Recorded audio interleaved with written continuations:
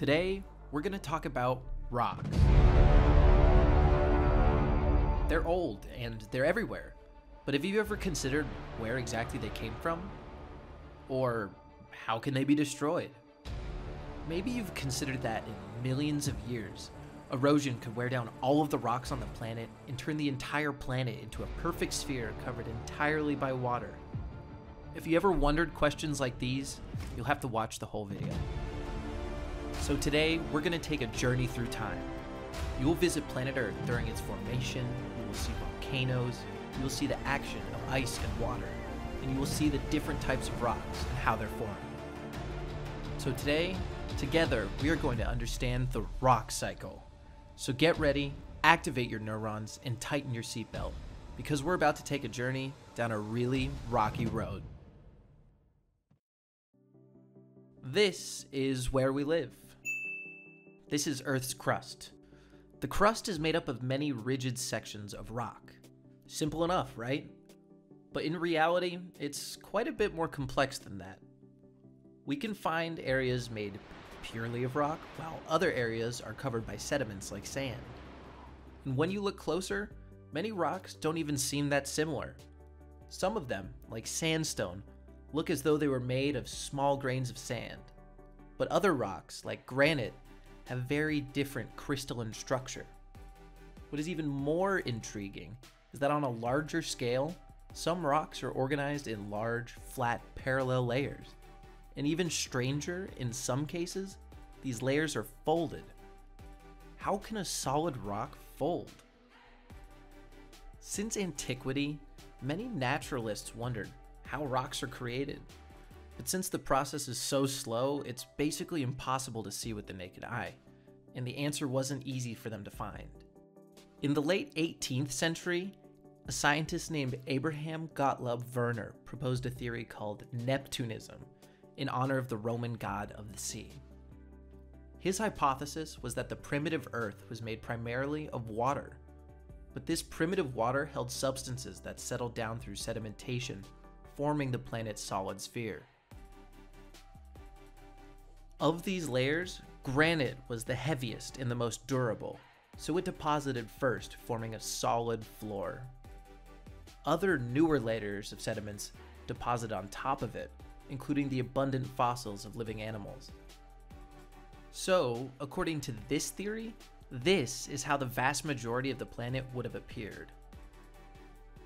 Volcanic activity only had a marginal influence by altering the continent slightly and introducing additional sediments and volcanic rocks. Subsequent minor floods contributed further to the layers, ultimately forming the majority of rocks as a result of particles precipitating from the water.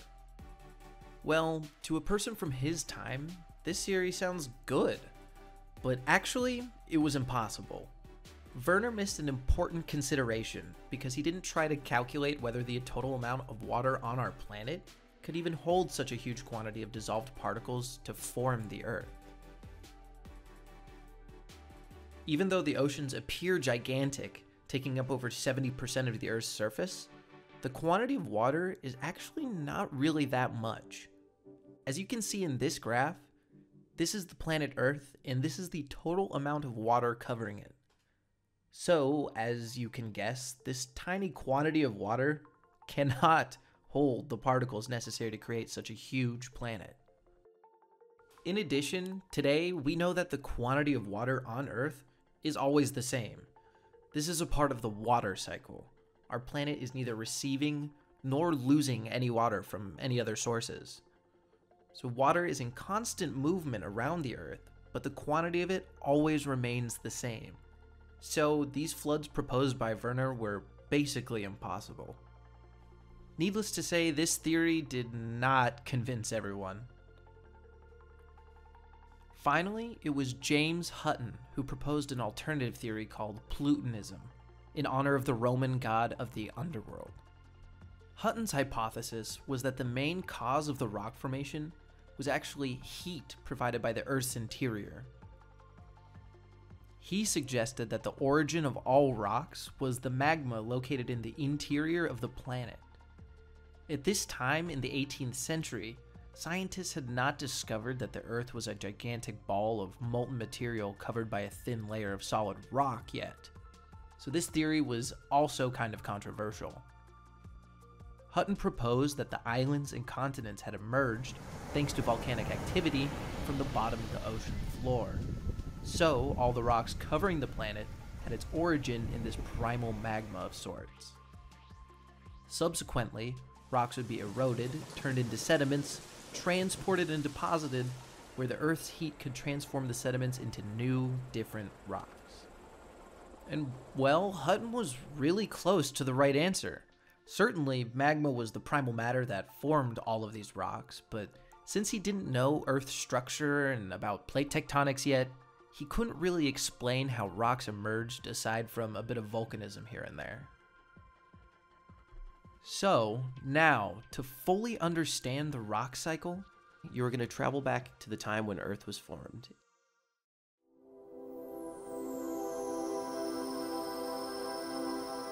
About 4.6 billion years ago, in our region of the Milky Way, a nebula, which is a large cloud of dust and gas floating in space, collapsed upon itself due to its enormous mass. The materials concentrated, and due to the force of gravity, the heaviest one stayed at the center, beginning to create the sun. The great mass of that nascent sun caused a protoplanetary disk, flattened and rotating around the sun. And then the planets began to form. The theory of planetesimals is the model that best explains how this could have happened.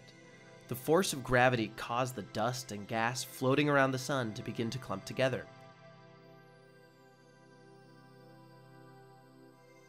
The bigger the groupings became larger and larger the more mass that they had, attracting more dust, more gas, and more rocks, creating a dynamic in which what were initially just many small particles ended up becoming protoplanets and subsequently planets on their own. For hundreds of millions of years, planets like Earth were attracting the enormous amount of meteoroids that still orbited around the sun. And there were so many impacts that turned the planet into a red hot hell. This is how it is explained that the interior of the Earth is so hot. The interior of the Earth has a lot of molten iron, but also has many radioactive materials. Finally, we have to consider that the Earth was a molten ball in its origins. When the meteorites stopped impacting, the outer layer gradually cooled, which caused the crust to eventually become a solid and cold layer. But as everything cools from outside to inside, there is still a huge residual heat from when the Earth was formed, which, combined with extremely high pressure and radioactivity of the core, causes the temperature at the center of the Earth to exceed 6,000 degrees Celsius. The base of the rock cycle is magma, the molten material that is in Earth's interior. When magma reaches the surface, it cools down, producing igneous rocks. Igneous rocks are divided into two main groups.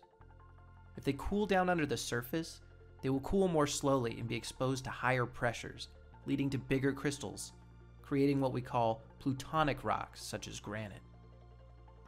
On the other hand, if they make it to the surface, like in a volcanic explosion, they will cool down much more rapidly and won't have time to develop these large crystals.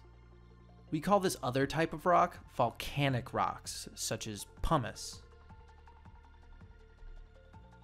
But what happens when these rocks are exposed on their surface? The agents of erosion start attacking them rain, ice, or even living organisms. They attack and break down these rocks, fragmenting them into smaller and smaller particles. These small particles are called sediments. Sediments are carried downwards by wind or water in a process called transportation, until they eventually get deposited in some kind of low point called a depression. And speaking of depressions, that's exactly where I am when I have a giant pile of geology exams to grade.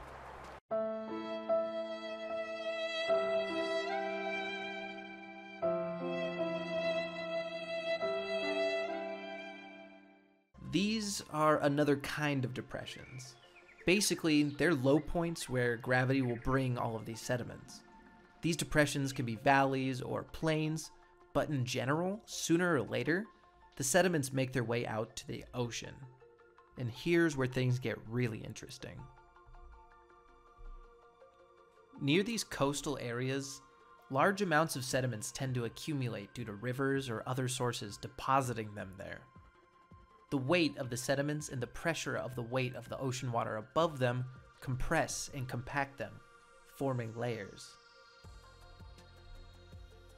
When the sediments are under an immense pressure and some magma infiltration raises the temperature nearby, they start experiencing some changes. Under extremely high pressure and temperatures nearing 200 degrees Celsius, the rocks undergo the process of diagenesis. The particles compact, cement together, or recrystallize, transforming into sedimentary rocks. The name, obviously, means that they are made up of sediments. Bruh. For example, gravel turns into conglomerate, sand turns into sandstone, and limes turn into, you guessed it, likes.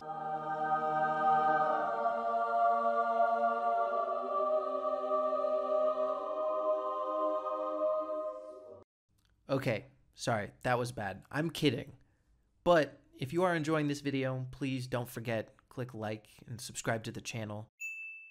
Something very simple like this goes a very long way to help the channel. So, thank you so much if you do that. Actually, limes turn into limestones. These rocks, buried under a deep layer of sediments, can stay there for millions of years. But if two tectonic plates collide together, they can be pushed back up to the surface. Once they're on the surface, they will be once again exposed to the agents of erosion, so they can be eroded and turn into sediments once again. However, sometimes different things can happen. If the sedimentary rocks remain buried and the temperature exceeds 200 degrees Celsius, it starts a process called metamorphism, which in turn produces metamorphic rocks. Metamorphism comes from two Greek terms, meta, that means change, and morph, that means shape. So these rocks change their properties and turn into new rocks. Just like the morphing from the 90s.